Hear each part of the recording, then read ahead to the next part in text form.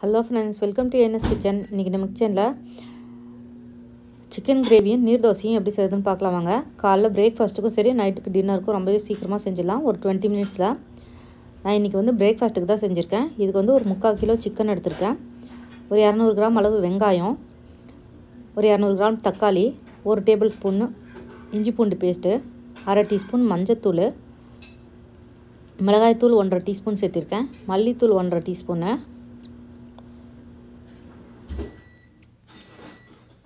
கரம் மசாலா அரை டீஸ்பூன் சேர்த்திக்கலாம். மிளகுத்தூள் அரை டீஸ்பூன் சேர்த்திக்கலாம். சீரகத்தூள் அரை டீஸ்பூன் சேர்த்திக்கலாம். உப்பு தேவையான அளவு சேர்த்திக்கோங்க. இப்போ இது எல்லாத்தையும் நல்லா ஒன்று போல் கலந்து விட்ருங்க இந்த சிக்கனை வந்து நம்ம ஊற வைக்கணுங்கிற அவசியம்லாம் இல்லை. கொஞ்சமாக கருவேப்பிலை சேர்த்திக்கலாம். இது எல்லாத்தையும் நல்லா ஒன்று போல் கலந்து விட்டு நம்ம சமைக்க ஆரம்பிச்சிடலாம். இப்போ ஒரு கடாயை அடுப்பில் வச்சுருக்கேன். ரெண்டு டேபிள் ஸ்பூன் அளவு நல்லெண்ணெய் விட்டுருக்கேன். நல்லெண்ணெயில் செஞ்சால் டேஸ்ட் ரொம்ப நல்லாயிருக்கும்.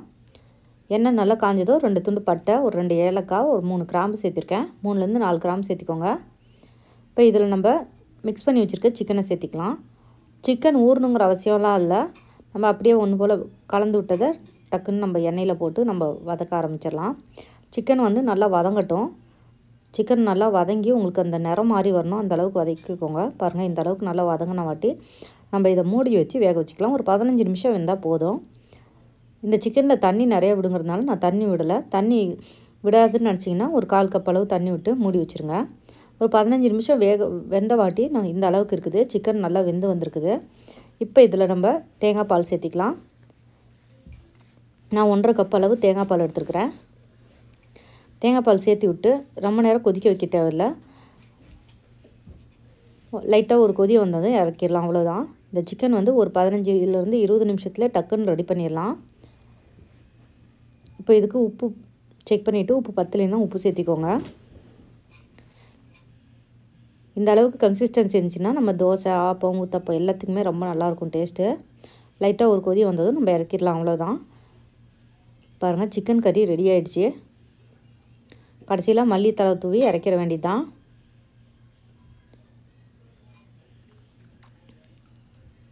ரொம்ப ஈஸியாகவே செஞ்சிடலாம். காலைல டைமில் பிரேக்ஃபாஸ்ட்டுக்கு செய்கிறதுக்கு ரொம்ப டக்குன்னு கூட செஞ்சிடலாம் நம்ம.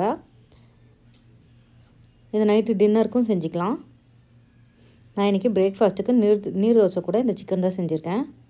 ரொம்ப அருமையாக இருக்கும் டேஸ்ட்டு நீர் தோசை செய்கிற நீர் தோசை செஞ்சிங்கனாக்கா எவ்வளோ சாப்பிட்றாங்கன்னே தெரியாது. உங்களுக்கு அளவு இல்லாமல் சாப்பிட்டே இருப்பாங்க. அந்தளவுக்கு டேஸ்ட் ரொம்ப நல்லாயிருக்கும் இப்போ அடுத்தது நீர் தோசை எப்படி செய்கிறதுன்னு பார்த்துடலாம் வாங்க.